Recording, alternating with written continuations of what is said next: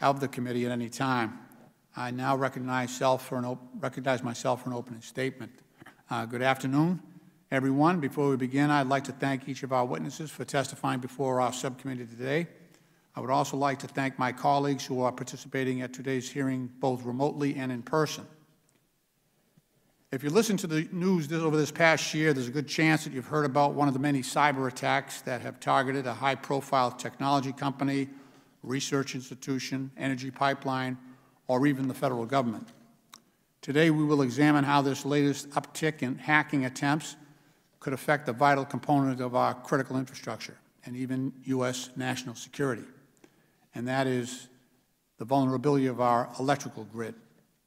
The electrical grid is the backbone of daily life here in America. It provides energy to heat our homes, power our hospitals, and charge our smartphones. It also uh, is a priority target for state and non-state cyber adversaries. A successful attack on the electrical grid could have devastating consequences on U.S. national security and our economic interests. Last month, Secretary of Energy Jennifer Granholm confirmed that cyber adversaries have the tools and capabilities necessary to shut down our electrical grid. In, in a recent statement, the Department of Energy warned, and this is a quote, the United States faces a well-documented and increasing cyber threat from malicious actors seeking disrupt, to disrupt the electricity that Americans rely on to power our homes and businesses every day. In response, President Biden has taken decisive, meaningful action since assuming office to strengthen our national cyber defense and protect our critical infrastructure. For example, in April, President Biden announced a 100-day plan led by the Department of Energy and the Cybersecurity and Infrastructure Security Agency, CISA, to strengthen the security and resilience of, US, of the U.S. electrical grid. And in May, President Biden issued an executive order that will modernize our national cybersecurity defenses and improve information sharing between the U.S. government and private sector, which is ultimately responsible for operating and securing the electrical grid. I want to applaud and I am grateful to President Biden for recognizing the urgency of this threat. However, significant vulnerabilities continue to persist and the Biden administration should consider whether additional regulations or policy initiatives are needed to strengthen the cyber defense and resiliency of our electrical grid. For example, as a growing number of networked consumer devices connect to electrical distribution systems, these devices create additional gateways that hackers can exploit to gain access to the grid. These vulnerabilities are exacerbated by the fact that federal cybersecurity standards do not currently apply to distribution systems and are instead only mandatory for certain power generation and transmission systems. Even those mandatory reliability standards that apply to electric generation and transmission systems do not fully incorporate leading cybersecurity guidance from the National Institute of Standards and Technology. In addition, many key components of the electrical grid are produced or rely upon parts produced by international suppliers. This equipment is vulnerable to tampering or espionage by foreign actors. Some of this equipment, especially large power transformers, can take over a year to produce, transport, and install, even in an emergency, making the U.S. electrical grid heavily dependent on overseas manufacturing. Lastly, but certainly not least, multiple federal agencies and state and local entities, each each with its own role, its own responsibilities, and its own authorities, are all tasked with protecting the electrical grid. This creates ample opportunity for bureaucratic stovepiping and can undermine the incident response to any events. To that end, I look forward to hearing from our witnesses about how they are working together and sharing information to ensure malign cyber actors cannot slip through the cracks. With that, I'd like to thank our witnesses for their service and for testifying before our subcommittee on this critically important issue, and I will now yield to my friend, the ranking member from Wisconsin, Mr. Grothman, for five minutes. Thank you very much, and thank you for our witnesses for showing up today. Um, this is an issue with far-reaching repercussions, something that scared me for a long time. An attack on the energy grid would be devastating for Americans and our national security. hours, even hours without power would cause chaos. Uh, Extended disruptions could pose serious consequences to our national defense. Cyber attacks are growing in frequency, particularly scary ones from state-sponsored groups in Russia and China. It would appear that the casual observer that these actors are testing us, testing our defenses, our response, our reaction. Our defense must be effectively and efficiently, our defense must effectively and efficiently identify and disrupt potential attacks. Our response must harness the powers of government and the private sector to mitigate the fallout. Our reaction must be swift and strong to future attacks. Each of you, each of our witnesses, plays a vital role in the nation's cyber defense. This hearing is a welcome opportunity to hear from all of you and learn more about how our government operates in space, as well as what the fallback position is going to be if any of these attacks are effective. It's a balancing act between the government authority and the operation of private industry. The answer is not more unilateral cost, costly regulations. The, the, although we may need more unilateral regulations, the answer lies within current authorities available to you and, frankly, your ability to work with each other. I hope we can hear more about the collaboration today. In closing, I'd like to say that hopefully in the future we can take up other security issues uh, the origin of the COVID, the Chinese biological weapons program, dangers of a nuclear Iran and botched uh, Iran deal, and President Biden's border crisis. I've been down there four times. I'd love a hearing on that. Um, the huge number of people crossing the border. Um, we're, we're right now at about 70,000 people a month. Um, what is further disturbing is the vast number of illegal immigrants President Biden's been releasing our country, well over 160,000 between Border Patrol and HHS. Um, committees held hearings after hearing during the Trump administration up conditions at the border. I've been down there four times. You'd have a blast having hearing on that. I hope, Mr. Chairman, we can work together to investigate these issues. I yield back and look forward to what our witnesses have to tell them. The gentleman yields back. I have one important procedural matter. Uh, without objection, the distinguished member from Rhode Island, Mr. Langevin, uh, is recognized and waived onto the committee for the purpose of participating in questioning these witnesses. Mr. Langevin is a senior member of the House Armed Services Committee, where he serves as chairman of the Subcommittee on Cyber, Innovative Technologies, and Information Systems. Mr. Langevin has led on a number of key pieces of legislation related to cybersecurity, including a bill to establish the position of National Cyber Director in the White House. He is also a commissioner on the Cyberspace Solarium Commission and is a co-chair of the Congressional Cybersecurity Caucus. So welcome, Mr. Langevin. Now I'd like to welcome our three witnesses. Today we are joined by Mr. Puesh Kumar, who is the acting principal Deputy Assistant Secretary in the Office of Cybersecurity, Energy Security, and Emergency Response at the Department of Energy. We're also joined by Mr. Eric Goldstein, who is the Executive Assistant Director for Cybersecurity at the Cybersecurity and Infrastructure Security Agency at the Department of Homeland Security. And we are also joined by Mr. Joseph McClelland, who is the Director of the Office of Energy Infrastructure Security at the Federal Energy Regulatory Commission. Uh, so to all of our witnesses, thank you for your willingness to appear and to help the committee with its work. We look forward to your testimony. It is the custom of the committee to swear our witnesses, so would the witnesses please stand and raise your right hand so that we can swear you in? Do you swear or affirm that the testimony you're about to give is the truth, the whole truth, and nothing but the truth, so help you God? Let the record show that the witnesses have each answered in the affirmative. You may be seated. Thank you, and without objection, your written statements will be made part of the record. With that, Mr. Kumar, you are now recognized for five minutes of your uh, summation of your written testimony. Thank you, Chairman Lynch. Uh, Chairman Lynch, Ranking Member Grothman, and distinguished members of the subcommittee, thank you for the opportunity to testify on behalf of the Department of Energy to discuss the administration's continuing efforts to secure the nation's energy infrastructure, helping to ensure that all Americans may rely on a resilient, secure, and clean energy system. The energy sector provides critical resources, electricity and fuel, that we all depend upon. As we recently witnessed with the Colonial Pipeline incident and impacts from the extreme weather in Texas, disruptions to our energy system can have devastating impacts to the U.S. economy and the livelihoods of millions of Americans. DOE's Office of Cybersecurity, Energy Security, and Emergency Response, commonly referred to as CESER, plays a leading role in addressing the continuously evolving risks facing the energy sector, including the growing cyber threats that pose a strategic challenge to the United States.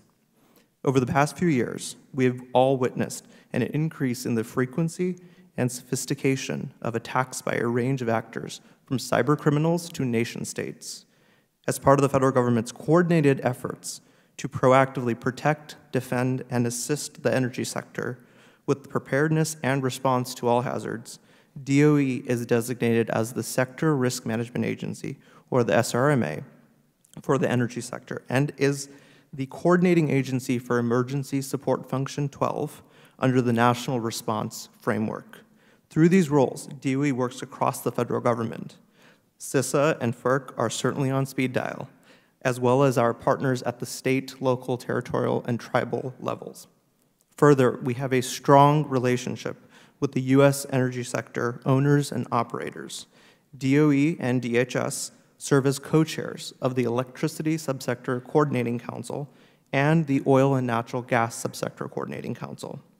The Sector Coordinating Council structure allows the government, federal and state, to work closely with the industry to prepare for and respond to national level disasters or threats to critical infrastructure. Collective preparedness and collective response are at the heart of our work. With that in mind, there are five priorities that I've set for the CESER office to really ensure that we are targeting our resources on the critical issues that are facing the U.S. energy sector. The first priority is to increase the visibility of cyber threats, targeting industrial control systems of energy companies. This includes enhancing the government and industry's ability to detect and deter cyber threats. Um, as you mentioned, Chairman, we just launched the 100-day initiative for industrial control systems, and the goal there is to really start to get visibility into a part of the energy system that we haven't had as much visibility on before really starting to see the cyber threat actors in that environment and, and be able to quickly collaborate with them. The second priority is to identify supply chain threats and disclose vulnerabilities in the energy sector, both in their hardware but also the software and the digital supply chain. Um, one of the efforts we have underway at CESER right now is a program called Cyber Testing for Resilient Industrial Control Systems. Uh, the idea behind the program, as it's commonly referred to as CyTRICS, is to partner with manufacturers and suppliers of the most critical components in the energy sector so that we can test for hardware and software vulnerabilities before those systems are ever deployed in the energy sector.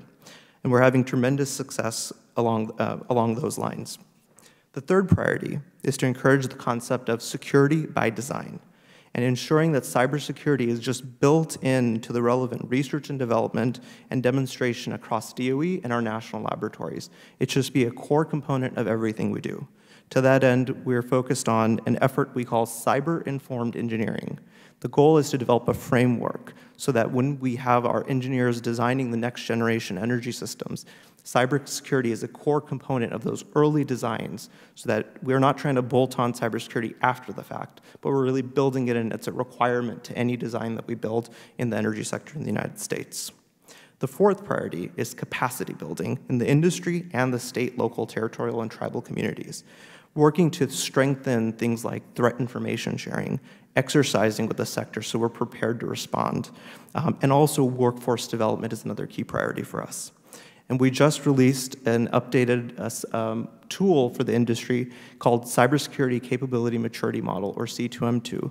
We just released version 2 last week. The C2M2 model lets companies assess the maturity of their cybersecurity programs and then make targeted investments in their programs going forward. And finally, the fifth priority is to ensure that when an incident does occur, regardless of hazard, CESER is ready to support that sec the sector and mitigate impacts and ensure the safe and efficient restoration of the nation's energy infrastructure. We do this through the deep subject matter expertise of energy systems across the DOE complex, including headquarters, national laboratories, Power Marketing Administrations, the Energy Information Administration, and the Na- National Nuclear Security Administration. We're able to bring the different resources to the table in support of a response. In the case of a cyber response, we work closely with our partners at CISA and FBI uh, to ensure that we can have a coordinated response like we did with the Colonial Pipeline incident. Thank you for the opportunity to testify. I look forward to your questions. Thank you. Mr. Goldstein, you're now recognized for five minutes. Thank you. Chairman Lynch, Ranking Member Grothman, members of You turn your mic on? There you go. Ah, but I'll move it a bit closer. Okay. Should be better. Okay. Thank you. Start, of course. Chairman Lynch, Ranking Member Grothman, members of the subcommittee, thank you for the chance to testify today on behalf of CISA. And thank you for your focus on this critical issue and bringing us here to, to discuss the work that we've done so far and the need to make further progress in addressing risks to the nation's energy grid and broader critical infrastructure. Cyber intrusions targeting organizations across all sectors of the economy reflect that this is now an urgent threat to our national security, economic security, and public health and safety.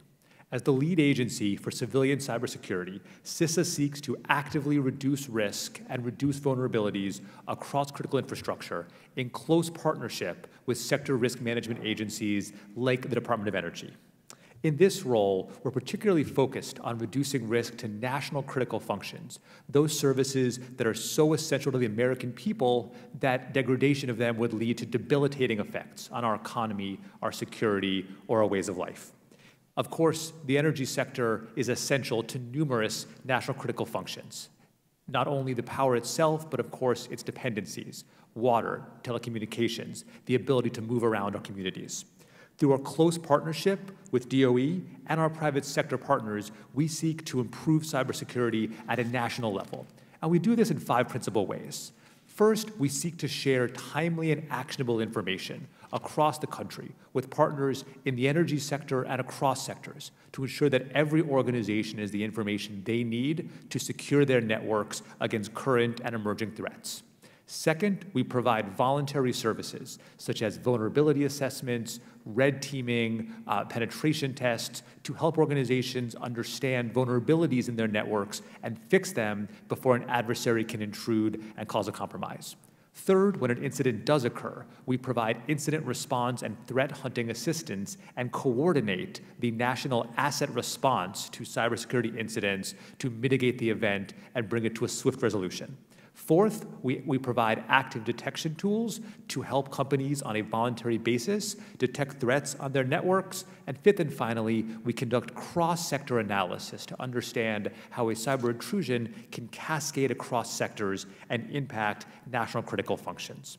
And as my colleague at DOE noted, we are doing a lot of this work today under the auspices of the White House's 100 day control systems uh, plan, in which we are focused on improving both security practices and the ability to detect threats across critical en- uh, entities in the energy sector.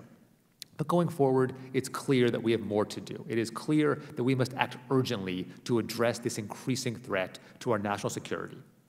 We're looking to, to, drive this progress at CISA in a few ways. First, we continue to work urgently on a voluntary basis with government and the private sector partners to gain visibility into cybersecurity threats and intrusions across the country. With this visibility, we are able to, to disseminate more actionable and timely information, we're able to provide more tailored response, and we're able to understand the breadth of risks affecting entities in this country. We look forward to working with Congress on enabling incident reporting legislation that will provide CISA with this needed visibility. And we're also looking to more broadly deploy our detection tools, such as the CyberSentry program, which allows us to use commercial tools and government information to expand visibility into risks affecting the nation's most critical infrastructure. Additionally, we must continue to mature our voluntary partnerships with government and the private sector. We are shortly launching our newly renamed Joint Cyber Defense Collaborative, uh, as established in last year's NDAA, to formalize our work between government and the private sector around mitigating and understanding emerging uh, cyber campaigns affecting our country. And lastly, we must recognize that we are, we are not going to, in the near term, prevent every cybersecurity intrusion. And we must focus on resilience and functional continuity. To this end, the Cyber Response and Recovery Fund, an initiative recommended by the Cyberspace Solarium Commission and recently passed by the Senate, will significantly help CISA uh, have the capacity to, to help entities respond and recover when damaging intrusions occur. We know that the problem is severe and trends are not pointing in the right direction. We, we are doing more, and we must act with urgency in managing this threat we are facing. CISA, CISA is prepared to lead this national effort in coordination with the SRMAs, with federal law enforcement, and with partners across this country, and we look forward to working with Congress in so doing. Thank you again for your time, and look forward to your questions. Thank you. Mr. McClelland, you're now recognized for a five-minute summation of your testimony. Thank you. Chairman Lynch, Ranking Member Grothman, and members of the subcommittee. Thank you for the privilege to appear before you today to discuss defending the U.S. electric grid against cyber threats. My name is Joe McClelland, and I'm the Director of the Office of Energy Infrastructure Security at the Federal Energy Regulatory Commission. I come before you as a Commission staff witness, but I should note my remarks do not necessarily represent the views of the Commission or any individual commissioner. In the Energy Policy Act of 2005, specifically through Section 15 of the Federal Power Act, Congress entrusted the Commission to approve and enforce mandatory reliability standards for the nation's bulk power system.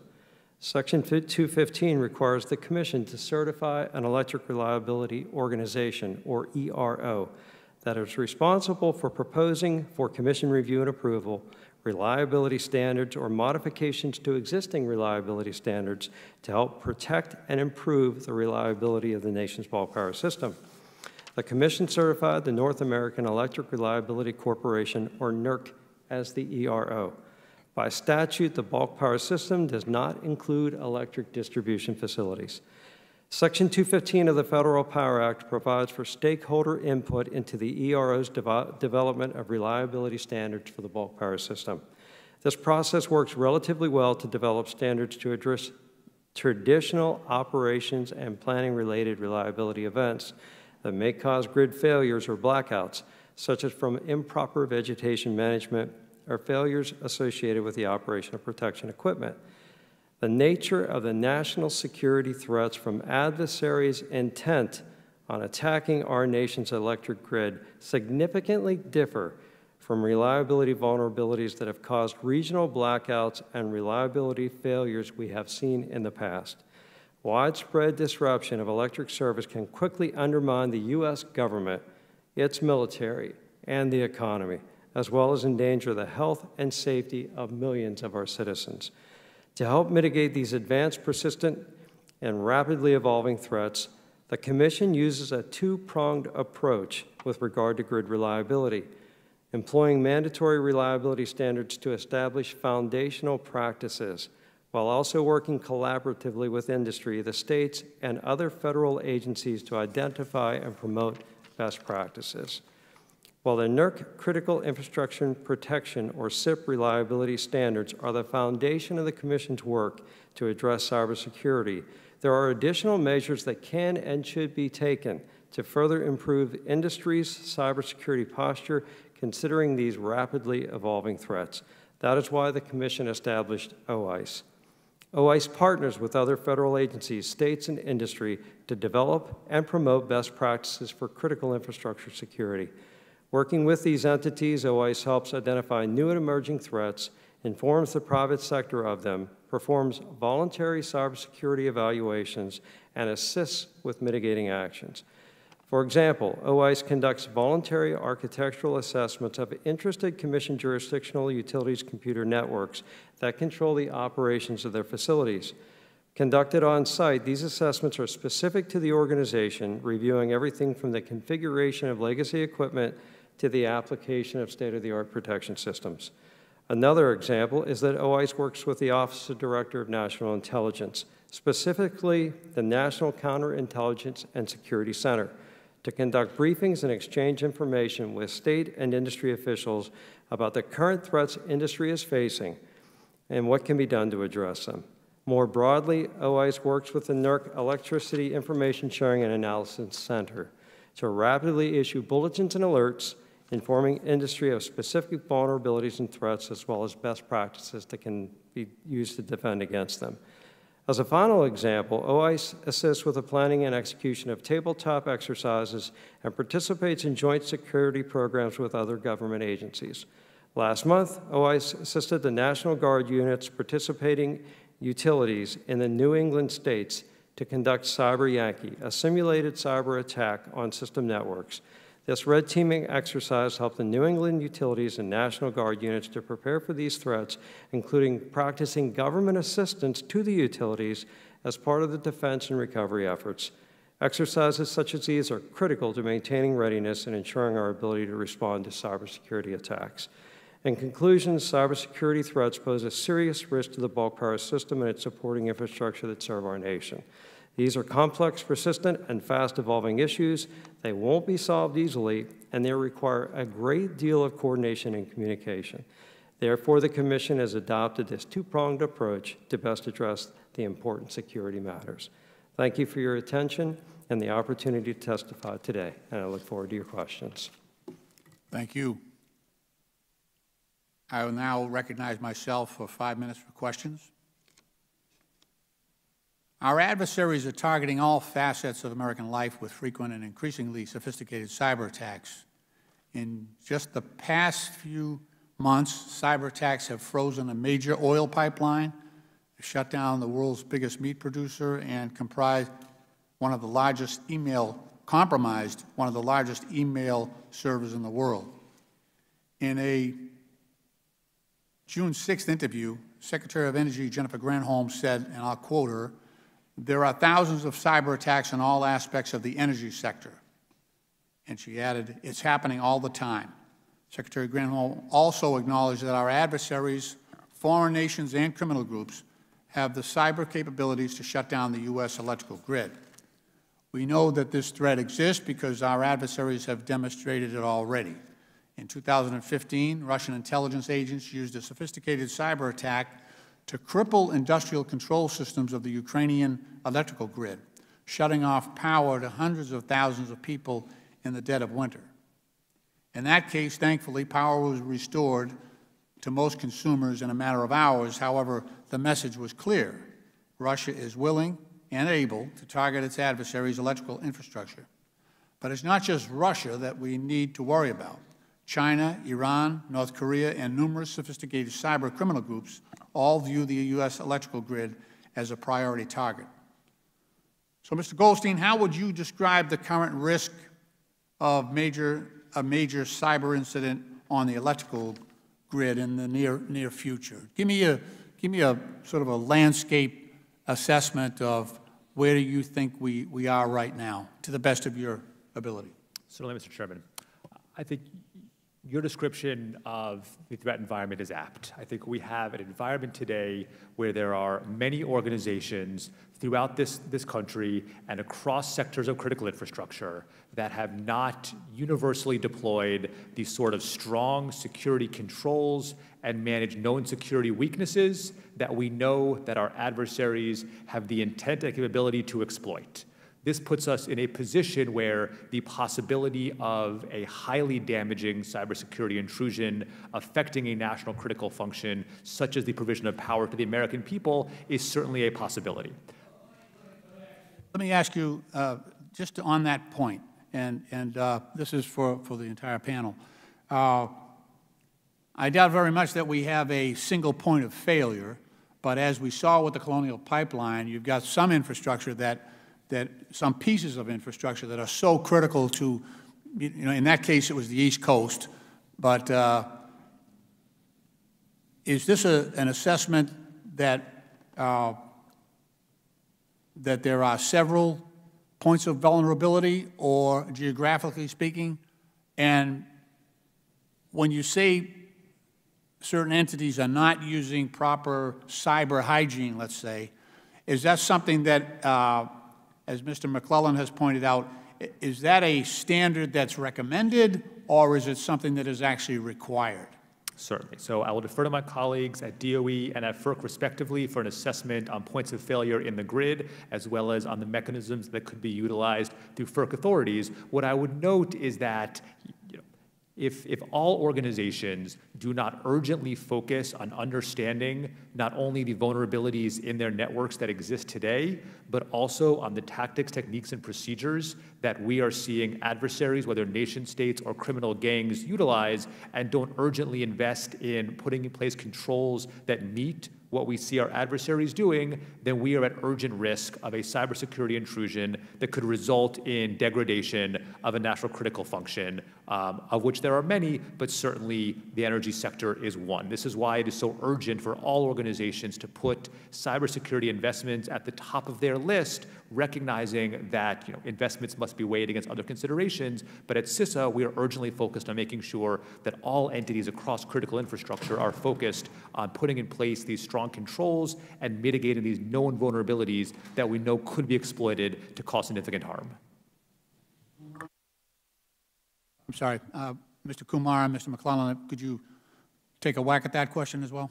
Absolutely, sir. Thank, thank you for the question. I think that's a really important question because I truly do believe that the cyber challenge is the national security challenge that we're facing on a daily basis, as you mentioned. It becomes even more complex when you think of the electricity sector that has over 3,000 electric utilities across the United States and how it's all connected. This becomes even more complex and challenging, and so we need to be addressing this through three different ways.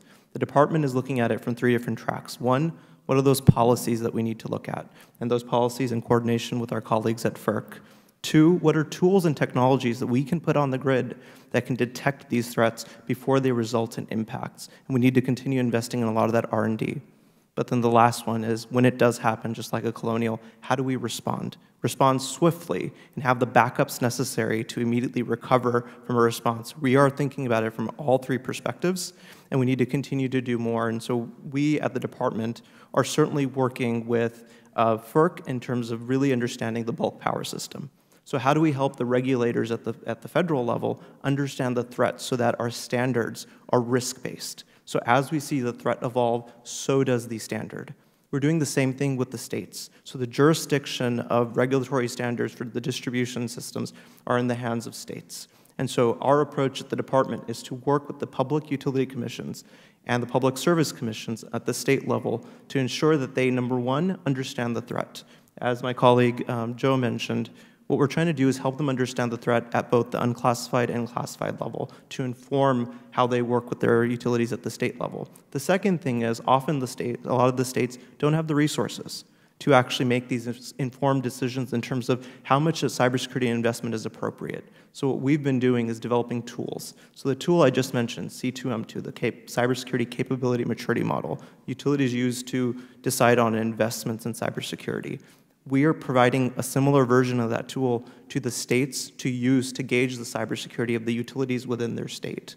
And so we need to do this three-pronged approach to continue pushing cybersecurity forward, sir. Great. Mr. McClelland? Refer to a couple of quick, uh, couple of quick quotes from the annual threat assessment. This was issued in April 9th of 2021. We continue to assess that China can launch cyber attacks that at a minimum can cause localized temporary disruption to critical infrastructure within the United States. Regarding Russia, Russia continues to target critical infrastructure, including underground, underwater cables and industrial control systems in the United States and in its allied uh, countries. As compromising such uh, infrastructure improves and in some cases can demonstrate its ability to damage infrastructure during a crisis. And then lastly, I just refer you to the, the Task Force on Cyber Deterrence.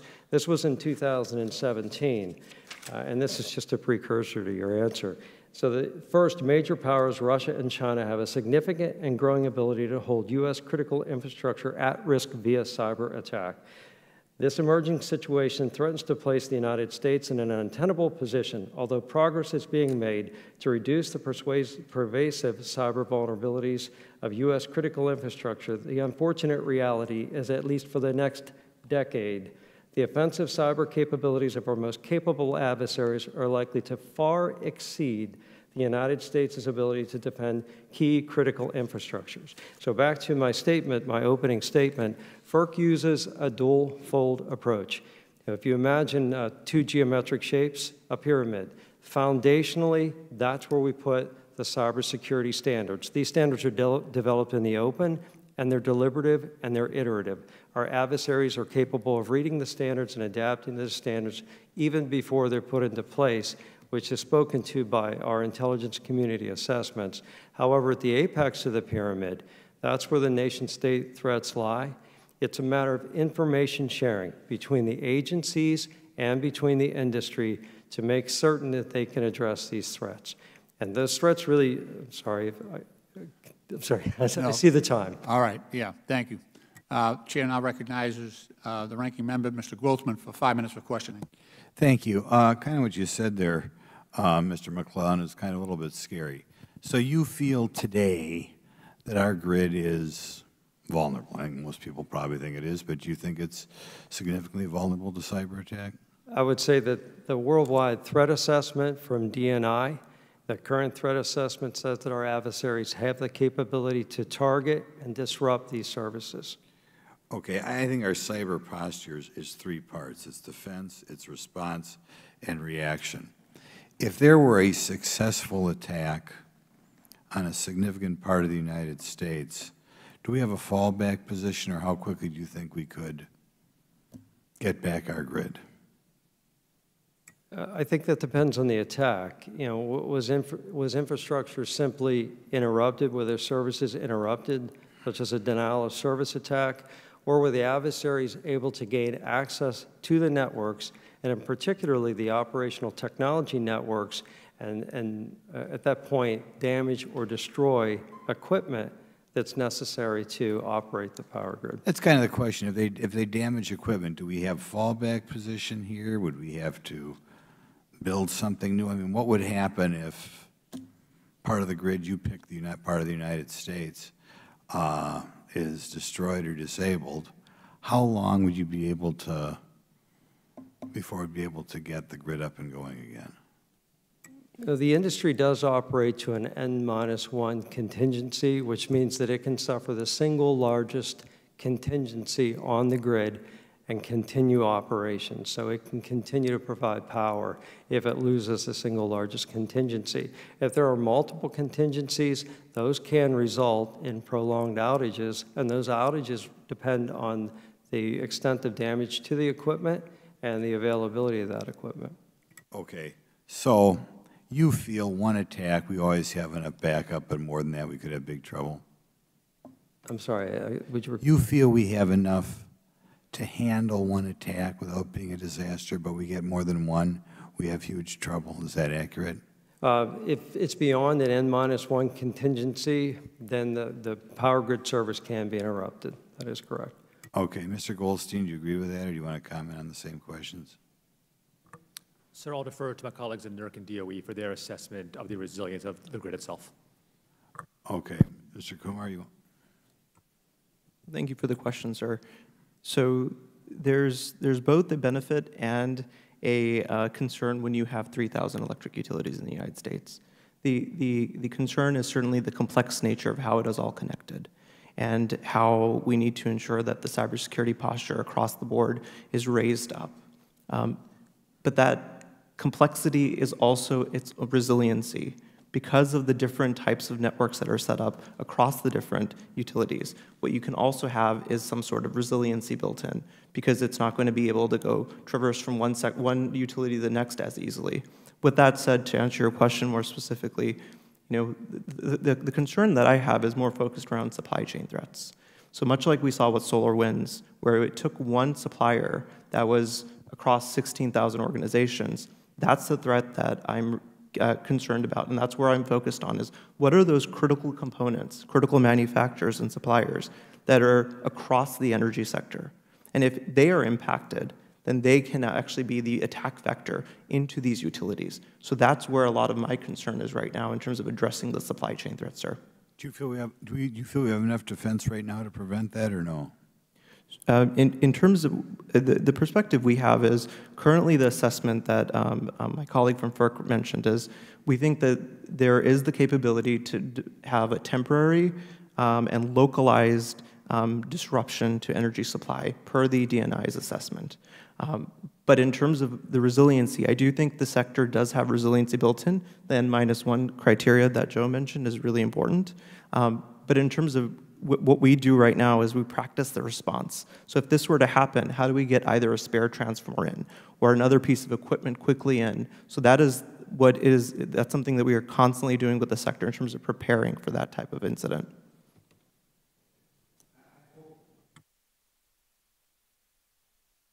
I understand you might not be able to speak to this, but I want it on the record it's important we don't let malign actors get away with these actions, especially if they are, especially if they're affiliated with nation states like Russia or China. Um, if something happened like you were describing, how quickly do you think we would be able to, say one utility had huge problems, how quickly do you think we'd be able to get the grid in that area or that factory up and running again? Sure, thanks, thank you for that question. It, it's a complex problem. It really depends on the type of um, uh, attack vector, right? Is it a piece of software that's critically used? Is it a piece of hardware? And that's going to factor into how we respond as a government to really respond to this type of incident. Unfortunately, there isn't a great answer until you start to see it. Now, with the SolarWinds type of incident, um, what we're focusing on is working with the GEs, the ABBs, the, the large industrial control system manufacturers to ensure that there is backups and redundancy built into these systems so that we can go to a backup plan. And so that's an area that we've been working with this sector on, and it's, it, the concept is called spare tire. Can we go to a manual mode if we can't rely on our digital systems? It, it seems to me that private companies, if there were not threat of attack, um, would not invest as much as they have to if there was an attack, right? It seems the question is, for, for good as society as all, we need a fallback position. Do you think there's some role for government there or not? Sir, I, I appreciate the question. I, I feel like government does have a role in terms of really working with the sector to bolster their defenses. This is why we launched the Industrial Control Systems Initiative, because we really need to start looking at cyber adversaries in those critical systems and then be able to correlate that information. From our end, we want to correlate it with our colleagues at CISA from a cross-sector perspective, and then we want to correlate it with our intelligence community so that we can get a feedback loop back to the sector. And we need to continue pushing on this and incentivizing cybersecurity across the board. I'd like to thank the Chair for his generosity. Absolutely. The gentleman yields back. The Chair recognizes the gentleman from Vermont, Mr. Welch, for five minutes. Uh, Thank you, uh, thank you, Mr. Chairman. I want to thank the witnesses, too. Uh, The National Institute of Standards and Technology uh, cybersecurity framework includes guidance and best practices that are, of course, widely regarded as foundational elements. Uh, Mr. McClelland, why do the North American Electric uh, Reliability Corporation standards not fully integrate the NIST cybersecurity framework? Uh, Thank you for the question. Um, On, Au- in August of 2019, GAO submitted a report to Congress comparing the NERC CIP standards to the NIST framework. In that report, GAO concluded that the CIP standards did not co- cover some of the NIST framework requirements. In response to that report, FERC staff began an investigation to benchmark the NERC CIP standards against the GAO framework. Uh, it's important to note right at the onset that the two bodies don't necessarily compare equally. And if, just a few examples. Uh, the NERC CIP standards focus specifically on operational technologies necessary to uh, ensure operations of the bulk power system, where the NIST framework focuses on both IT, information technology, and OT, operational technology. The NERC CIP standards do not re necessarily reflect best practices. They're foundational standards and they're foundational practices. So, so but what do we, what do we have to do in order to get to a place where we have some confidence that we'll be able to resist these attacks? So FERC, after the analysis, FERC did issue a notice of inquiry. It was in June of 2020. It Right. specifically identified categories of function uh, to the industry for open comment, asking whether or not the NERC CIP standards could be improved in comparison to the NIST framework. So what do you think? I mean, are, do you believe the gaps in the current reliability standards do present a risk uh, to the bulk electrical system? The, the comments were received, so I I just need to finish that quickly. So in September, we received comments. Now it's the subject of an ongoing proceeding, so I can't speak any further about it, but I can tell you that the matter is under active consideration by the commission, having received comments from any interested party in comparing the NERC CIP standards to the NIST framework. The bottom line, sorry. the bottom line, though, is that we really got to get some resolution on that in order to have a higher degree of confidence that we can resist a cyber attack, right? Um, Again, I just cannot comment on an ongoing proceeding. I couldn't give any perspective on that right. proceeding. I'm sorry, sir. Well, let me ask this. On the, the NERC reliability standards, as I understand it, they're only mandatory for bulk power systems of over 1,500 megawatts of power. And there's some possibility that there could be a, a number of attacks uh, that are on separate systems, but the aggregate uh, can well be over 1,500 uh, megawatts. And we don't have the information about how we would resist that attack. Um, Does FERC now have any information, and has the agency assessed the impact of a cyber attack on geographically dispersed power systems? Yes, FERC is, that's another matter that's under active consideration at FERC.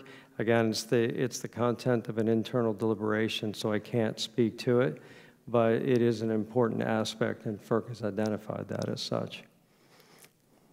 So where do we need to be to improve our confidence about our capacity to protect the grid? I mean, we've got to get to the bottom of these questions, right? Right. And these are subjects of active proceedings at FERC. All right, well, uh, thank you very much. Thank you. Gentlemen, I uh, yield back. Uh, Just to, I'm a little bit frustrated that we can't get at these answers because we have a proceeding elsewhere. Uh, What's the nature of your, your, uh, the privilege that you're, you're, you're claiming here? As, as an, an active proceeding, one that's under deliberation, um, it, I, as a staff member, I cannot comment on the merits and the timing of that active proceeding. And this is an, I think he was asking you about a certain proceeding. He was asking you about how to protect the, the power grid for the country. it was uh, in comparison, for instance, to the NERC, I'm sorry, uh, Mr. Chairman. Mr. Chairman, it was in comparing the NERC CIP standards to the NIST framework, and this is an active proceeding uh, at the commission. It's under deliberation. So if we went into classified session, would you be able to discuss it then? I could not, Mr. Chairman, because the content and timing of a deliberation at FERC cannot be disclosed. Okay, we're going to have to have you back then. Uh, The chair recognizes the gentleman, I I'm- apologize to the gentleman that that it was not fruitful. No, you, you, uh, you, you better stated my puzzlement, uh, and I appreciate that. Oh, absolutely. Uh, The chair now recognizes the gentleman from Arizona, Mr. Gosar, for five minutes.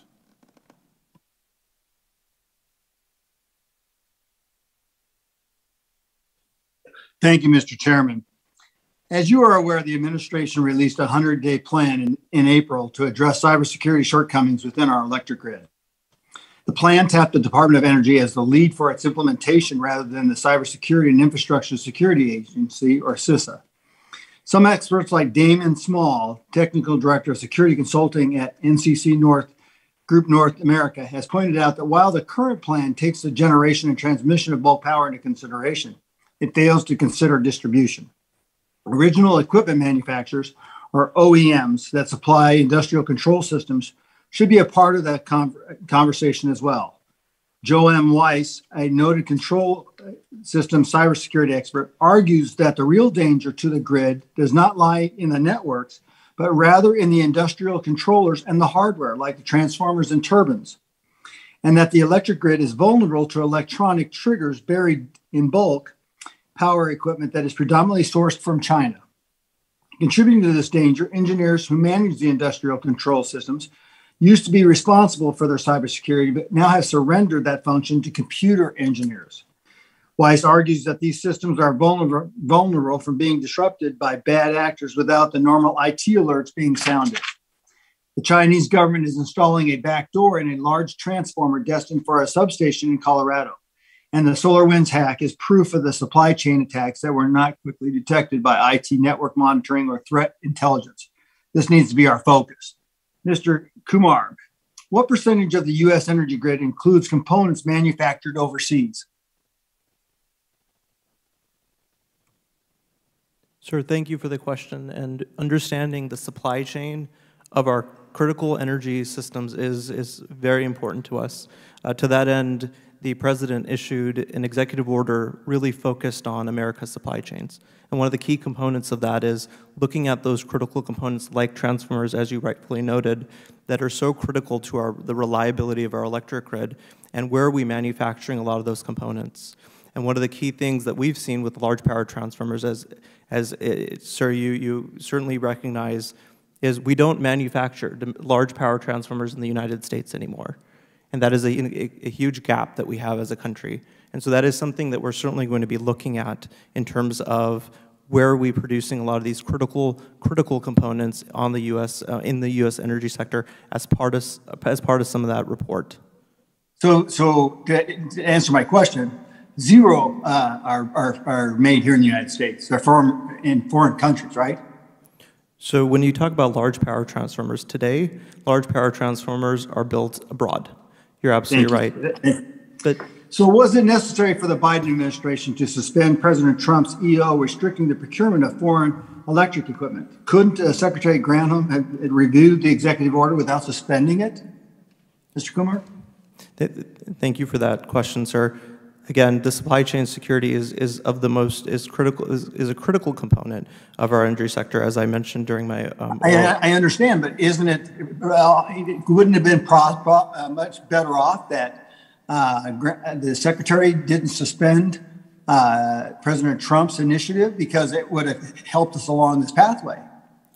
Sure. What we found was we got feedback from the private sector that they were looking for additional clarification. And so one of the things that we've done is we want to take a more holistic approach. One of the other things that we took into account was we had SolarWinds happen last year. SolarWinds really changed how we are thinking about supply chain threats across the board.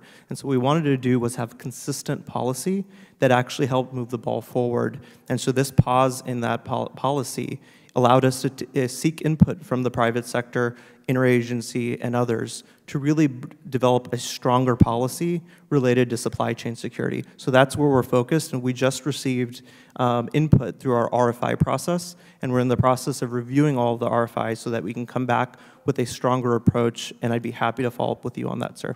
Yeah, so I, I guess my point in, in time here is, is that you know, we, we're, we're suspending a lot of the necessary supply chains here in this country that can be manufactured, whether it be uh, electronic uh, uh, pieces, whether it be the rare earths and, and uh, copper uh, manufacturing process pieces uh, for these transformers and these big aspects. So, I mean, it seems like we're in a, in a negative transfer abyss that is we're chasing our tail around and around and around. we don't have the supply chains. We don't have the critical elements to build them.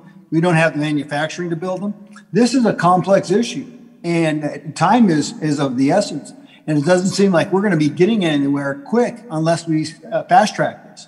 Is that, I, is that your understanding? Sure. So in the interim, where we've been focused a lot of our efforts is working with manufacturers directly. So we just signed partnerships with ABB, Hitachi, Schneider, and Schweitzer, and they've come on board with DOE to test pieces of their equipment because the reality is a lot of this equipment, whether it's hardware or software, is sourced globally.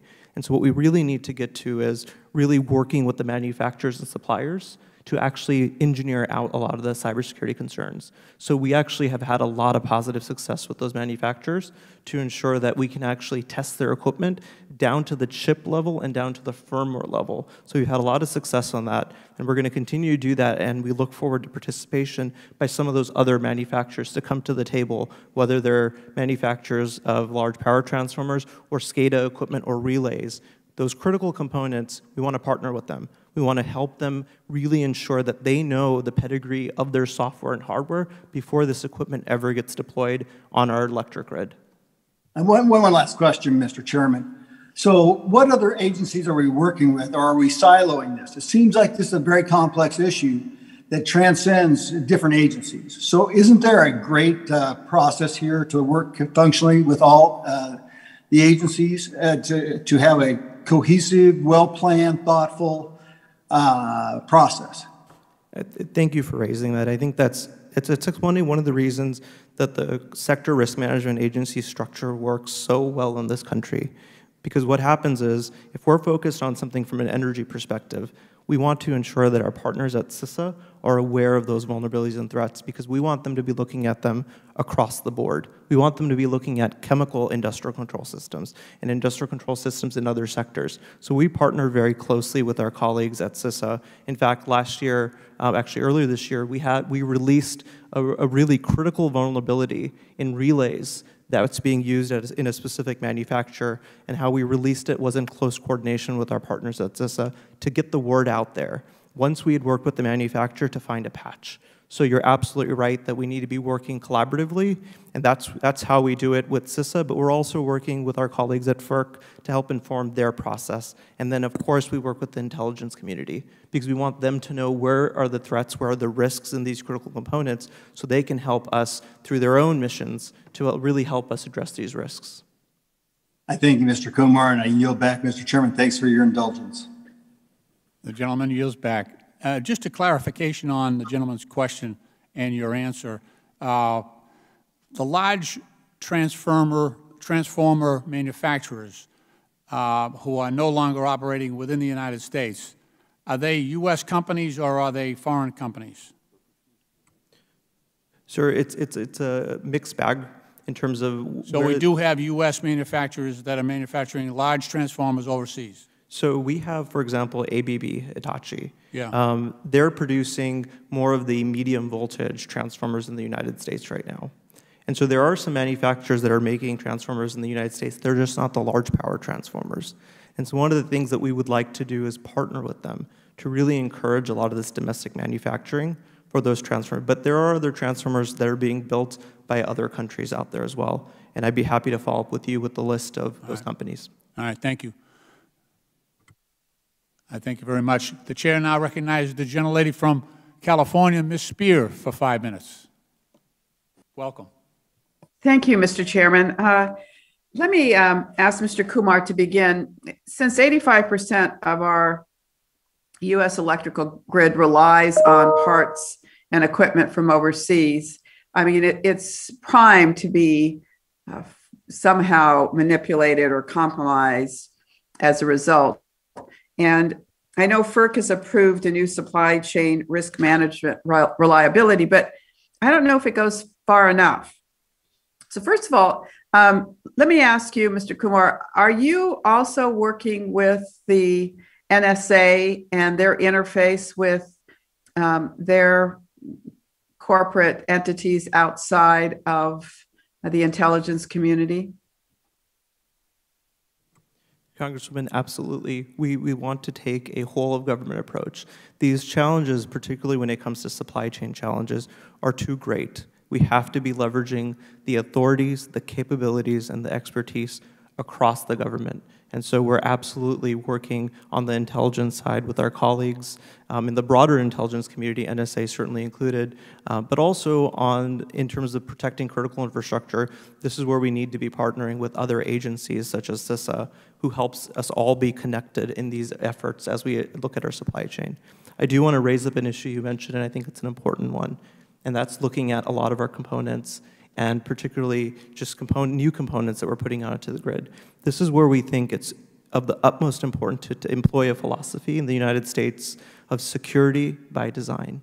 And the concept is we really need to be working at, looking at the next generation systems. So to that end, what we've done is we've collaborated with DOE's Office of Energy Efficiency and Renewable Energy as we start to look at wind turbines, solar panels, nuclear generation, how, and, and of course fossil energy. How do we ensure that the R&D being done on those systems has cybersecurity embedded into it? So this is a mandate that the Secretary, Secretary Granholm has asked CESER to lead across the board, that cyber is a core component of everything that the department does through the R&D at, at, at, lab, at, at headquarters, but through our national laboratories as well.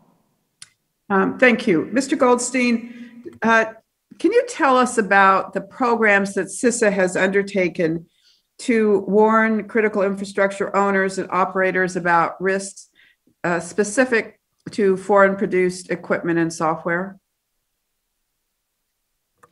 Certainly.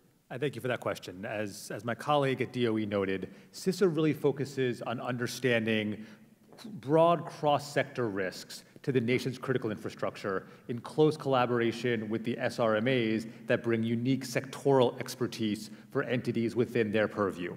Um, at CISA, uh, we manage uh, the Information and, and Communications Technology Supply Chain Risk Management Task Force, which is a public-private body intended to bring together the producers and developers of much of the platform technologies that we see ubiquitously utilized across sectors uh, in order to understand the risks posed by certain technologies and also, most critically, to drive best practices to reduce supply chain risk throughout the life cycle. Um, so here, excuse me, here's my question though. Uh, you could have the wherewithal to provide this uh, support and information to these many operators around the country. But if they either don't know about it or don't avail themselves of it, they become that much more vulnerable to foreign attacks. So, what are you doing to, to um, somehow lure them into a discussion and uh, a training that will provide them that kind of information? And then, secondly, have you created a list of banned foreign produced equipment and software uh, that is know, known to pose a threat to the U.S. critical infrastructure cybersecurity? Certainly. As to the first question, uh, you know, our hope is that luring is not required. Our hope is that by communicating effectively with critical infrastructure across this country through the multiple information sharing groups that CISA administers in coordination with the SRMAs and our other partners in government, we are able to share timely and actionable information about vulnerable uh, hardware and software that may need to either be mitigated or replaced. And our focus here really is on the vulnerabilities as opposed to the foreign provenance in the first instance. Uh, and by sharing information about vulnerable technology assets, that then enables an infrastructure owner operator to take concrete steps to address a particular risk in their environment. Um, to your second question, ma'am, uh, there is not currently a list maintained by CISA of banned technology assets for critical infrastructure. It does bear noting uh, that Congress recently created um, the, um, uh, the, the FASC, uh, which is an interagency body uh, intended to assess uh, the, the risk of foreign uh, produced vulnerable devices in federal networks um, and has the authority to, to issue exclusion orders uh, for those, those assets. That body is active now, and presumably an exclusion order issued by the FASC could be taken up by sectors across critical infrastructure or by sectoral regulators. All right, um, thank you. Uh, let me just um, conclude by urging all of you to recognize that we are the last to respond more often than not. Um, Huawei was operational in this country for over 10 years before we finally got the message that um, they shouldn't be allowed to do so. ZTE um, is yet another example. We are very late in doing what we should do early on. And I just hope that you recognize your uh, responsibility to, to act swiftly when there is either known or suspected uh, foreign intrusions and or equipment that poses a problem to us. With that, Mr. Chairman, I yield back. The gentlelady yields back. The chair now recognizes the gentleman from Georgia, Mr. Johnson, for five minutes.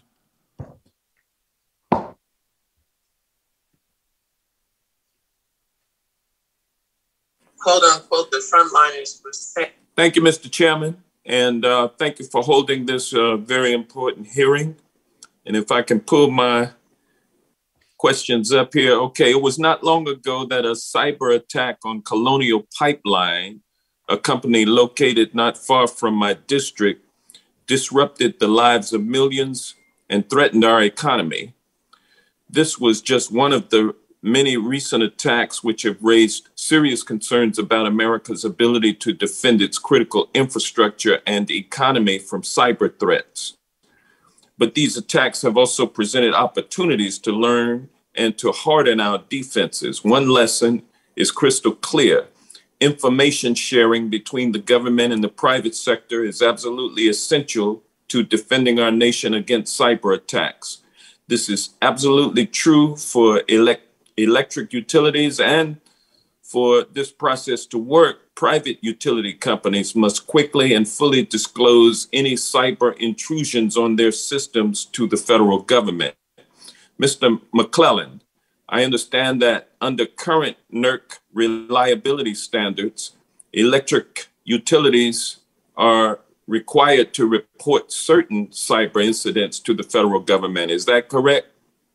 That is correct, Representative. And can you describe for me the types of incidents that uh, this uh, that must be reported, and why utilities are not required to report all incidents? The attacks, as, as I understand the requirements, the standard, the attacks require the utilities, the applicable utilities, to report either successful cyber intrusions or uh, cyber incidents that may, may not have constituted a cyber intrusion, but they were threats to the utility system. How effective has this requirement proved to be in practice? The requirement is relatively new. I, am not familiar with the results, but I'd be happy to take that as a question for the record and provide a follow-up answer for you. Well, thank you. I appreciate that. And Thank to you, all of the witnesses, does the government have data on incidents that go unreported? Thank you, Congressman. It's a, it's a great and important question. Uh, and the answer is we don't have enough data. Uh, we know that there are still across sectors a number of intrusions today that are not reported uh, to the US government, either to CISA, to an SRMA, or to federal law enforcement. Uh, and this pr presents a few problems.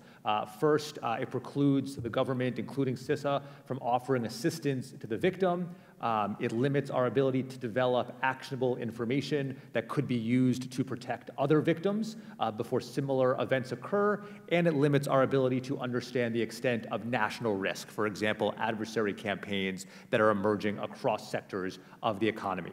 Um, as you may be aware, CISA recently worked with TSA to establish a security directive requiring reporting of incidents affecting certain pipelines to CISA. Um, but even so, this sector by sector approach may in itself not reach the breadth of reporting that the US government needs to understand national risk. And for that reason, we very much look forward to working with Congress to ensure uh, that there's incident reporting legislation uh, passed into law that would provide the breadth of reporting needed to understand and, man and manage these significant threats. Well, Mr. Goldstein,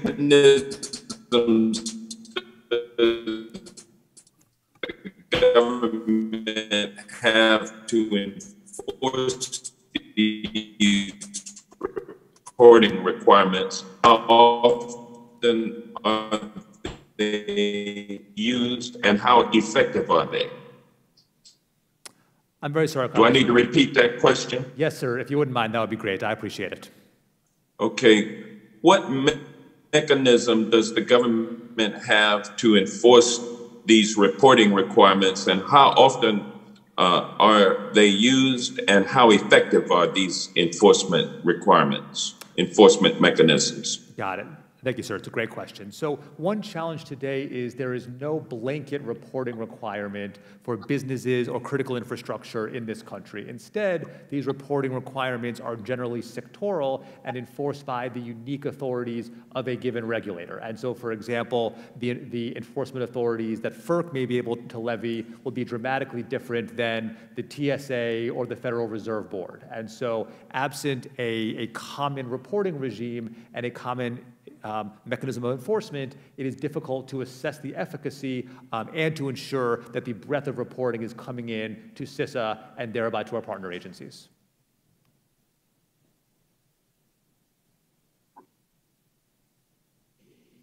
Thank you, uh, Mr. Goldstein. Uh, from CISA's perspective, are the current NERC reporting standards comprehensive enough, or do we need additional mandatory reporting requirements for electrical utilities? So over as a, as a broad question, uh, there are two challenges with reporting requirements today. Uh, the first is because they are they have developed sector by sector. They have divergent requirements for, for example, the definition of an incident, um, as well as the time frame for reporting and the content of a report. And then, as we've discussed, the fact that they are currently sectoral means that they are incomplete and do not cover the breadth of organizations that should be reporting uh, to the federal government when they have an intrusion that could impact the sort of national criti- critical functions that we care so much about. Um, certainly, the existing NERC standards, uh, as my colleague noted, are fairly new. Um, our understanding is that they do provide the necessary uh, degree of data, and that reporting uh, does come to CISA um, as defined in the regulation. Um, but of course, uh, you know, there may be other aspects of the energy grid for which additional reporting would be beneficial to help the U.S. government understand the breadth of risks, which is a commonality that we see across sectors. Mr. Goldstein, should electrical utilities be obligated to give CISA access to systems to conduct forensic analysis in the wake of an attack?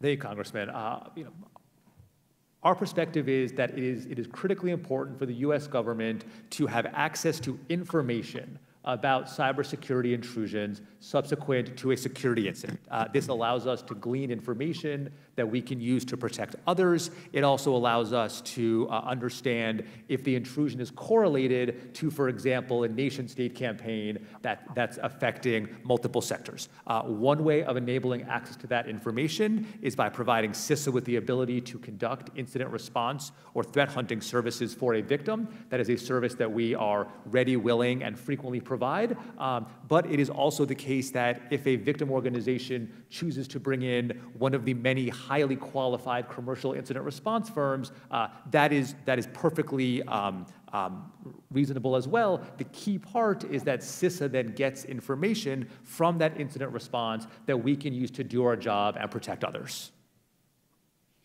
Thank you. Uh, any additional authorities necessary to respond to and deter any cyber attacks?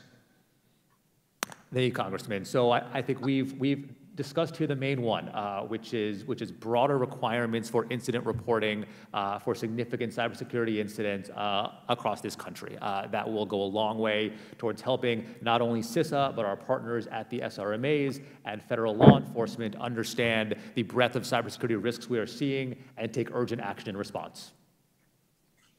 Thank you, Mr. Chairman. I believe my time has expired, and I appreciate the additional time. Okay, the gentleman yields back. Uh, let me let me just ask on on the to follow up on the gentleman's question. Uh, in in my district, we had a couple of incidents where uh, a gas line uh, inadvertently released gas into the general community. Uh, we had the FBI come in. Uh, I didn't have them come in, but they came in pursuant to the pipeline operator's request. would the would the FBI be a, a a, would they have a database or a, would they be a repository of some of these incident reports if they're, they're called in to, to uh, investigate? We work extraordinarily closely with the FBI every day. We conduct joint incident response together. We notify victims together. Uh, you know, our, our general rule uh, as a government is a call to one is a call to all, and I think that actually now works very well in practice. Uh, but even the FBI, uh, even given their, their breadth of personnel in the, in the field offices across the country, still has you know, certainly insufficient visibility into cybersecurity intrusions. Um, and so you know, some entities today call CISA, some call the FBI, some may call an SRMA, you know, we need a cohesive approach to this problem as a country that is going to ensure that we actually understand the nature of the threat we are seeing. We understand how our adversaries are breaking into networks across critical infrastructure. We are helping to prevent similar attacks before they occur. And we are understanding the potential impacts to critical functions before they manifest and result in service disruptions that could harm the American people. Okay, thank you. The chair now recognizes the distinguished gentleman from Rhode Island, Mr. Langevin, for five minutes. Thank you, Mr. Chairman. Uh, first of all, I want to thank you for uh, the accommodation and allowing me to waive on the committee for the purpose of uh, questions of the hearing. And I want to thank you for your leadership on cybersecurity. I know uh, uh, how serious you take this issue, and again, I deeply appreciate uh, the leadership you've shown and the work that we've been able to collaborate on together. Likewise, I'd like to thank the, the panel for their testimony this afternoon and the work that you're doing to try to protect the, the nation against cyber threats, especially those uh, of significant consequence. Um, I start, uh, Mr. Kumar, I, just wanted to follow up on a line of questioning. You talked about the, uh, the different um, power generation piece of equipment, some that are produced here, others, the larger ones that are produced overseas, if I understood all of that, that correctly.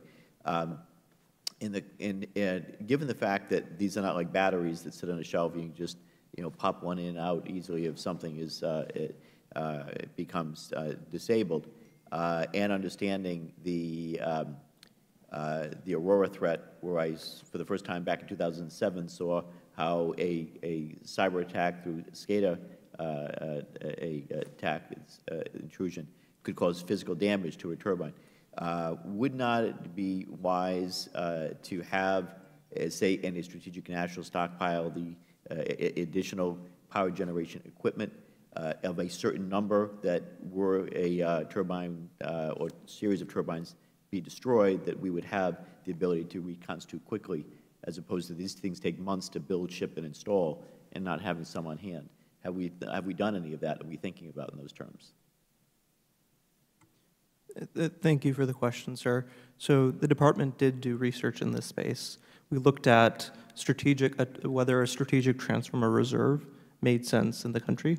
Um, so we actually did a series of reports, and we worked very closely with our industry partners to really look at what are the challenges when it comes to bringing in these critical pieces of equipment, as you rightfully uh, identified. And so what we found through a lot of that reporting was uh, we, we should be thinking about strategic transformers and the sharing of transformers. And so to that end, we, in, since writing some of these reports, the industry itself has set up three different programs in the electricity industry to really share transformers during an emergency. Uh, it's Grid Assurance, Spare Connect, and the STEP program. These programs allow one utility to share a transformer with another utility. Uh, grid assurance goes a step farther. It actually goes beyond just transformers. It's looking at relays and other critical equipment. So our hope is as we start to identify these critical pieces of equipment, particularly ones perhaps that are long lead time equipment, how do we inform that back to the private sector so they can develop, continue developing these mechanisms to have these types of reserves? The government's role, another portion that we feel like we need to address and help with, is these large power transformers are 200 to 300 tons. And what we often find is the logistics of moving a transformer at 20 miles an hour and maybe less across from one uh, part of the country to the other is a huge challenge of moving such a large piece of equipment. So the focus we've had is working with our colleagues at the Department of Transportation and of course the states to really understand the logistics of moving these large power transformers from point A to point B. Um, the other piece that I referenced earlier, sir, is that we need to really look at domestic manufacturing. Um, how do we incentivize some of that domestic manufacturing of these critical components in the United States? And I know that is a, is a key focus of Secretary Granholm as we start to develop this report regarding America's supply chains, and so there's going to be more to come on that. Uh, thank you. I, th I think it's an important issue to, to address. Uh, Director Goldstein, um, thank you for being here. As you know, I'm a big proponent of the Joint Cyber Planning Office currently uh, being stood up at CISA. Uh, and I think the JICPO uh, will be critical for bringing the interagency, including the Department of Energy and the private sector together to coordinate planning and exercises to protect critical infrastructure like the grid. So, Director Goldstein, can you give us a status update on the JICPO? Uh, in addition, how do you view the planning and exercise function uh, of the office fitting in with other operations and analytics uh, functions carried out by, uh, by CISA? Thank you for the question, sir. And as always, thank you for your work on behalf of our national cybersecurity mission. We are deeply grateful every day for it. Um, we continue to make progress in, in implementing this critical function, which, as you note, is going to be foundational to our ability to prioritize, plan for, exercise, and then execute coordinated cyber defense operations with government and the private sector. Uh, we are preparing now uh, for our initial launch uh, of the organization um, which will involve multiple private sector companies as well as our partners across the interagency. Um, and we intend for that work to be really a pilot for what this effort will be able to do when it scales forward. Uh, the way that I would think about this for broader integration is this will be our effort to, in the first instance, understand what are the most significant risks that we care about managing as a national cybersecurity community, with CISA, of course, at the helm for civilian cyber defense. How do we develop plans jointly with the interagency and with industry to understand how we mitigate those plans? Right. peak was two million dollars back in nineteen ninety-eight. Um, Someone's got a live mic. Uh, Could we ask all members to mute? I was seventeen, and that was a Thank you, sir. My apologies. Thank you. You may proceed. Thank you. Once we have our list of prioritized risks, develop joint plans with government and the private sector, exercise those plans in the same joint manner between industry and the private sector, and then when a risk manifests, execute those plans to ensure that we are taking collective action to mitigate risks to entities that could be harmed. So if we think about layering this in with our existing model for cyber defense operations, uh, you know, we could envision a planning sprint focused on certain risks to the energy sector, where, where we would ensure that CISA's asset response capabilities, DOE's uh, expertise as the SRMA, and then our partners in industry, but not just industry in the energy sector, but cross-sector entities in the private sector are all coming together saying, when the bad day that we've discussed today occurs, how do we take joint action to ensure not only that we're minimizing impacts to the energy sector, but we are understanding and proactively addressing cross-sector impacts? Bringing together team members from government and the private sector to do this work, both in person and via, uh, and via our analytics platform that we are developing for joint collaboration in coordination with the interagency and our partners across industry. So this really, this really will be the formalization of CISA's critical role in leading civilian cyber defense for the country, but it's a role that we can't do alone and requires the robust collaboration from day one with the SRMAs, with our, with our other partners, uh, including federal law enforcement and the intelligence community, and perhaps most critically, the private sector, uh, who, have, who, of course, are going to be the executors of so much critical work to mitigate risk in this country. Thank you very very much. Uh, Mr. Chairman, I have I had two additional questions, but I could submit those for the record. I've, You can fire away, Jim, if you want. Oh, Okay. uh, Go thank you, ahead. Mr. Chairman. Um, So Director Goldstein, uh, last year's NDAA also required us to develop uh, a continuity of the economy plan. So this uh, plan will, will govern how we respond to and recover from a significant disruption to our economy, thinking of in terms of you know, what to prioritize first if the bad day happens and what do we need to get up and running first to keep our economy uh, on track. Uh, you know, uh, one uh, perhaps uh, epitomized by a cyber attack on the on the uh, the bulk power system. So our intent in in drafting this provision was that CISA, including the Cybersecurity Division and uh, uh, the National Risk Management Center, uh, would play a key role in drafting the report. Can you give me an update on, on where things stand with the continuity of the economy plan? Absolutely. So uh, certainly we, we share your focus about the need to robustly consider and plan for continuity of the economy under all conditions. I think it is the thematic underlying much of what we've discussed today. I understand that the administration is still considering the appropriate way to implement that provision uh, in the NDAA, uh, but certainly uh, I recognize the urgency and importance of this kind of work and would be glad to get you an update for the record on progress in uh, making that decision. Th- Thank you. I really do hope to see movement from the White House uh, study on this. Uh, uh, Maybe the new National Cyber Director uh, can uh, take the reins, and I I hope the subcommittee, uh, Mr. Chairman, will will keep on this issue as well. The last question I had, Director Goldstein, we've also discussed the uh, report required by Section 9002 of last year's NDAA and Section risk, Sector Risk Management Agencies, or SRMAs. As you know, the report was due July 1st. Uh, though I appreciate uh, the direct, uh, I appreciate Director Easterly was only recently confirmed and might need some time to review it. Our goal with the codification of the roles and responsibilities of SRMAs was to empower them to fulfill their jobs uh, while also ensuring CISA gets the support it needs, whether uh, in terms of risk data or incident response condition, uh, coordination. how do you see, Director, the, the um, relationship between DOE and CISA uh, evolving in light of Section 9002 and the forthcoming report?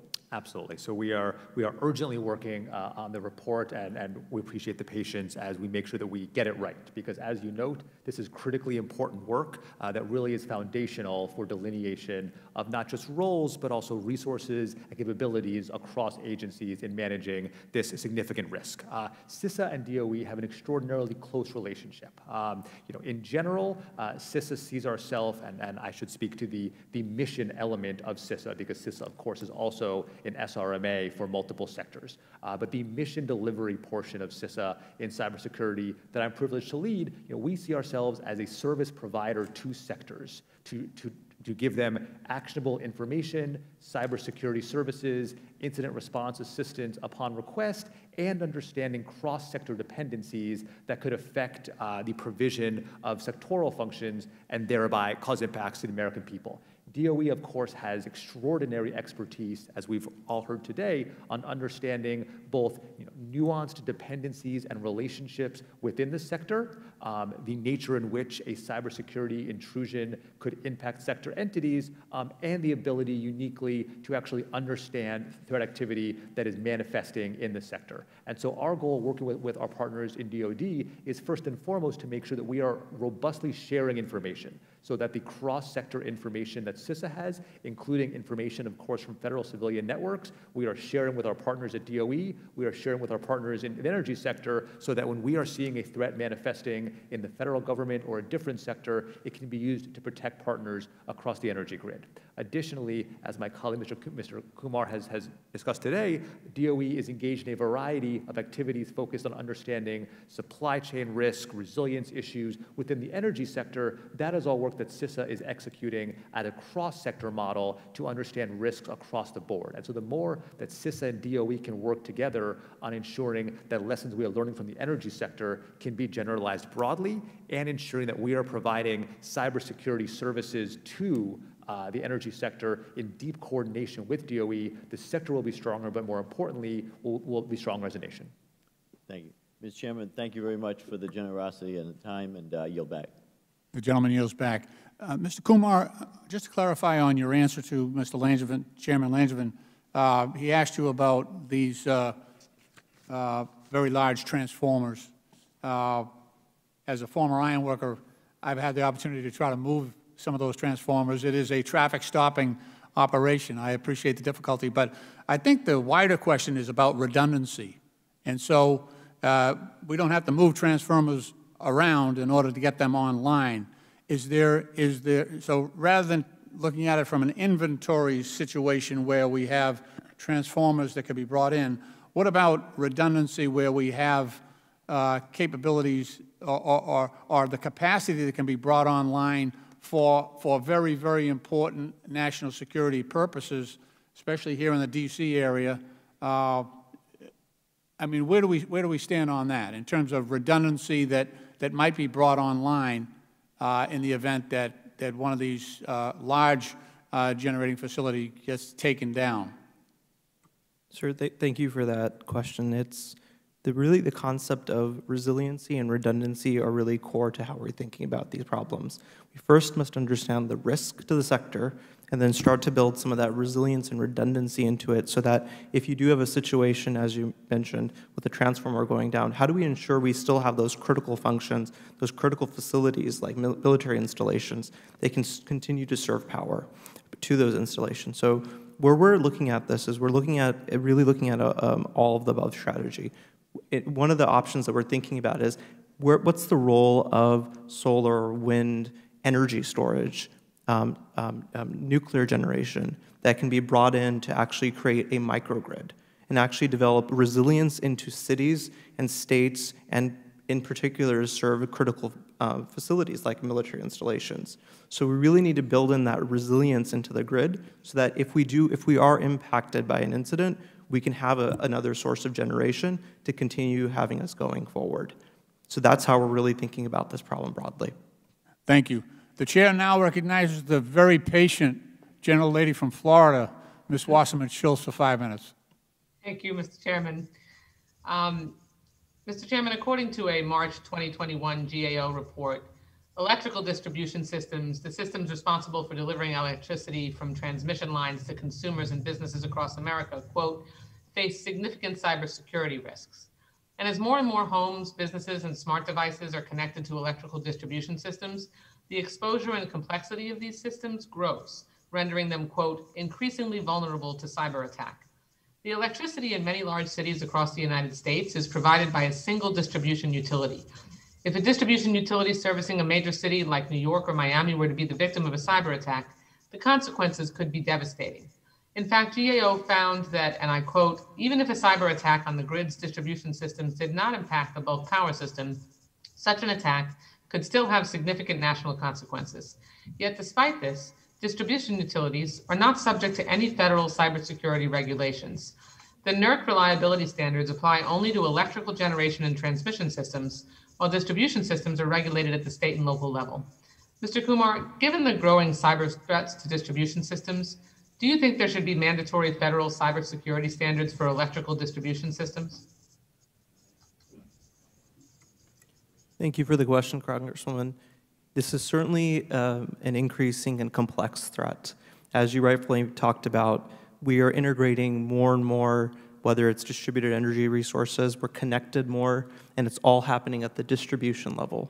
And so what we are focused on uh, we, as DOE, do not have the regulatory authority in terms of the distribution system, and I would certainly uh, defer to my colleague at FERC regarding regulatory authorities, but where we're focused is the states do have regulatory authority over the utilities at the distribution level. And so where we've been focusing our efforts is really educating the state public utility commissions about the threat, number one, then number two, providing them with the tools that they can use to then look at the, uh, the cybersecurity investments of the utilities at the distribution level within their, their cities, states, and communities.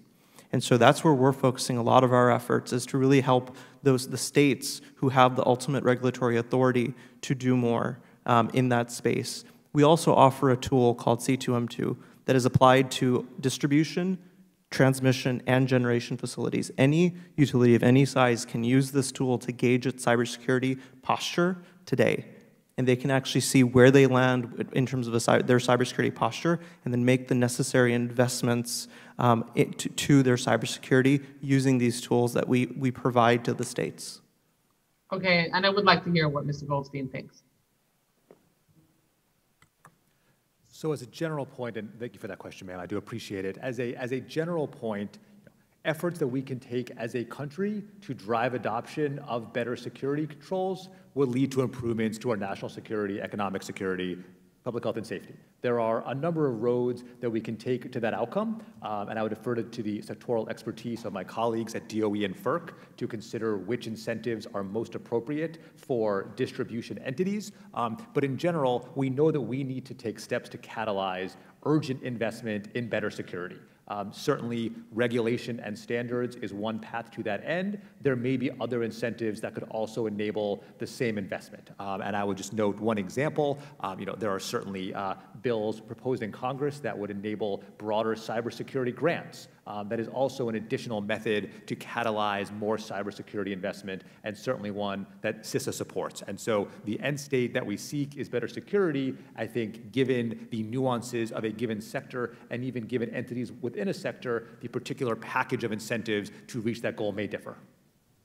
Okay, and continuing in the same risk uh, category, despite growing cyber risks to electrical distribution systems, GAO also found in its March 2021 report that DOE's current cybersecurity strategy for the electric grid does not fully address risks to distribution systems.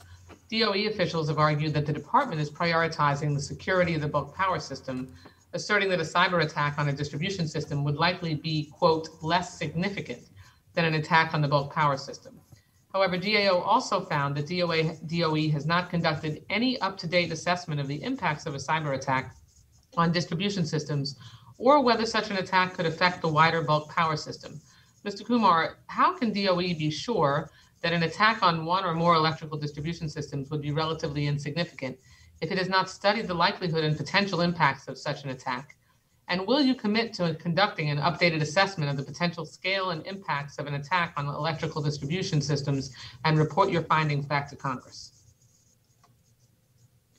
Congresswoman, I appreciate the question. We are absolutely focused on the distribution system. I've read the GA report, and it, we are taking actions today to really look at the distribution system. One of the key things that we're doing today is we've partnered with our Energy Efficiency and Renewable Office and our Office of Electricity to really think about the distribution systems and how do we embed security by design into those next generation systems at the distribution level.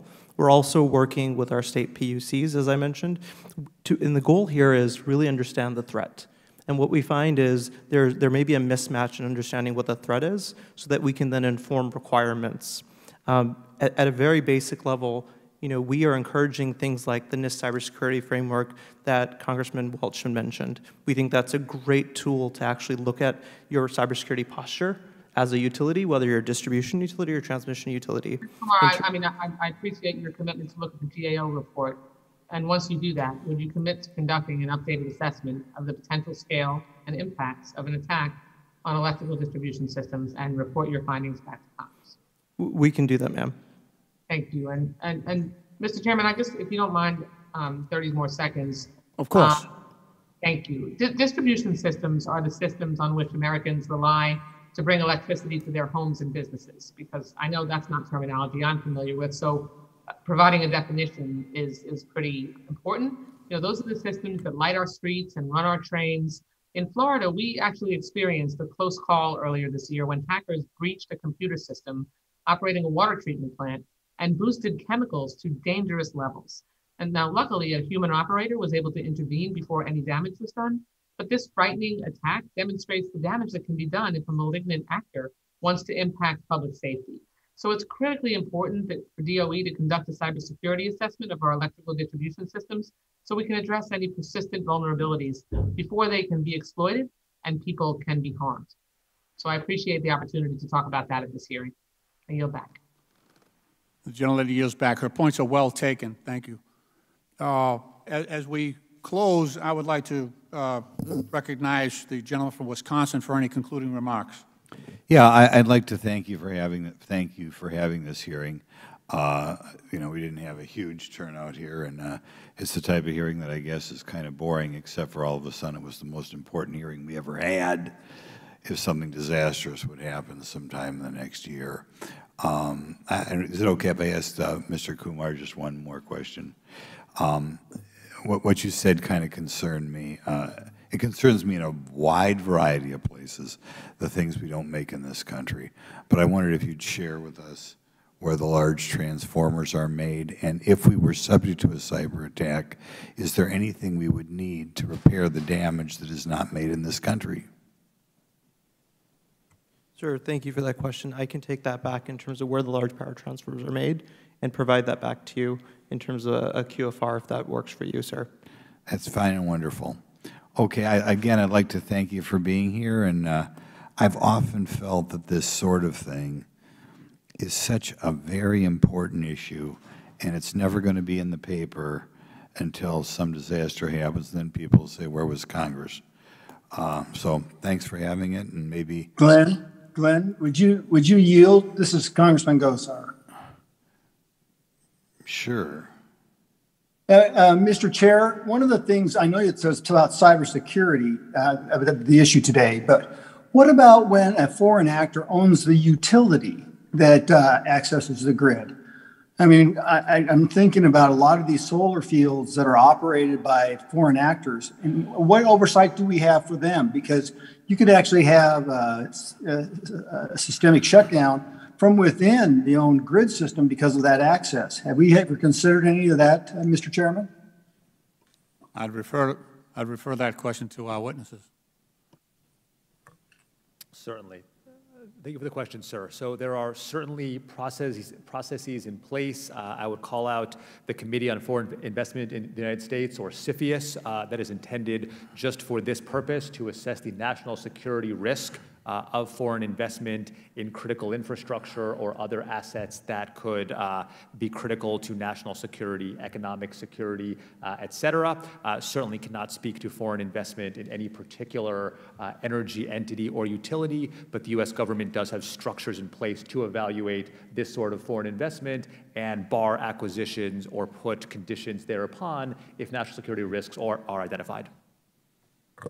That's if they're identified, right? I'm sorry, would you mind repeating that? Yeah, that's if they're identified. If they go run under the radar, I mean, uh, I mean, it, it depends a lot on the state oversight, if I'm not mistaken, right? So in general, it is, it is certainly the case that risks would need to be identified as part of the assessment process. Uh, there are processes in place to assess, to identify foreign acquisitions. There are reporting requirements thereof, and there are processes uh, that are administered on an ongoing basis to assess the risks posed by such acquisitions. And again, uh, um, preclude acquisitions or put conditions thereupon if such risks are deemed deleterious to national security. I will follow up with some questions to, to find out that, that uh, systematic oversight. Thank you. Thank you, Mr. Chairman, and thanks, Glenn. The gentleman yields back. Yeah, uh, that said, maybe sometime we can do something in the future on this, maybe in a more secure location, but thanks again for having the hearing. I thank the gentleman. Uh, Before we close, I have a quick housekeeping matter. I'd like to ask unanimous consent to enter into the record a written statement submitted by the American Public Power Association and the National Rural Electric Cooperative Association. So without objection, so ordered. Um, I think at this point, our witnesses have suffered enough. Uh, So in closing, I want to thank our panelists for their remarks. I want to commend my colleagues for their participation in the important conversation that we have had about the vulnerability of our electrical grid. With that, without objection, all members will have five legislative days within which to submit additional written questions, and I know there are some questions outstanding that, that we've had commitments uh, uh, during the hearing. Uh, but in any event, all members will have five legislative days within which to submit additional written questions for the witnesses to the chair, which will be then forwarded again to the witnesses for their response. And I ask our witnesses to please respond as promptly as you are able. And with that, this hearing is now adjourned.